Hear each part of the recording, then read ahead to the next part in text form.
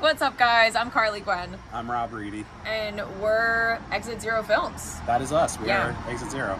So, we are putting together our first short film. It's called 25 Years. Rob wrote it.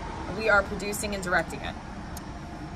We are now doing our second campaign for this project. Uh, we are almost there, guys. Exciting. It's very exciting. Yeah. We, we are almost to the day of filming. We just need a little bit extra in the funding area. Extra help. Yeah.